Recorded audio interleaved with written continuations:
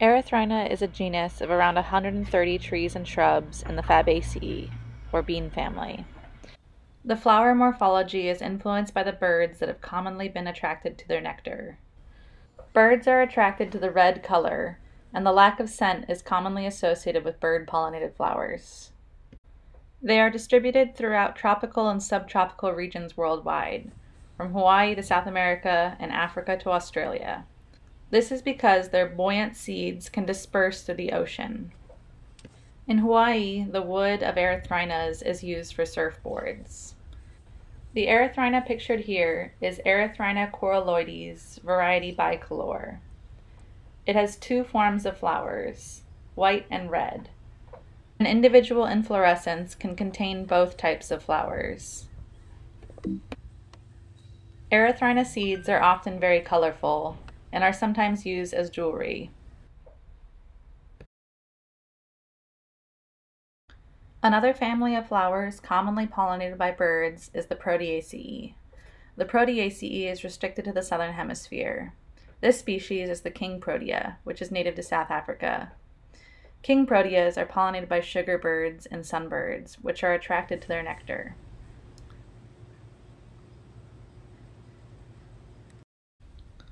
The flowers of the Proteaceae are usually arranged in inflorescences and are highly modified.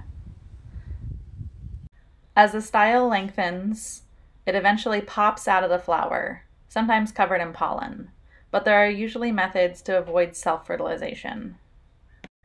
Members of the Proteaceae commonly grow in dry habitats, so they have thick, hard leaves, which are called sclerophyll. This prevents moisture loss. Another genus of bird-pollinated flowers is Strelitzia, commonly known as birds of paradise. In their native habitat, they are pollinated by sunbirds, but I have seen hummingbirds on campus pollinate these flowers. The plants produce orange hairs on their seeds. Another interaction with a bird is the mode of seed dispersal in Pisonia umbellifera, aka the birdcatcher tree. The fruits of this plant are extremely viscid and can stick to birds and be moved to new habitats. This particular plant on campus has taken the life of a bird.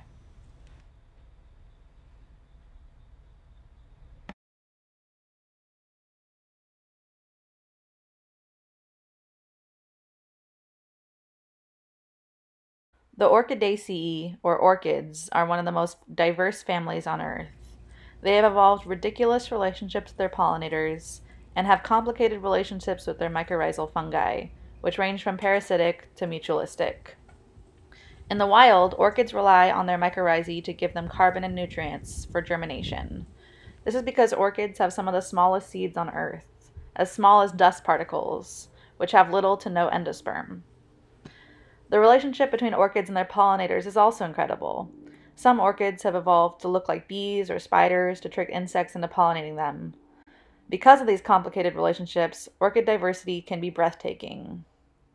People can become absolutely obsessed with them and start going mad and collecting them and putting them in shows or spending hours training so they can judge them and photograph them or just spend way too much money on them.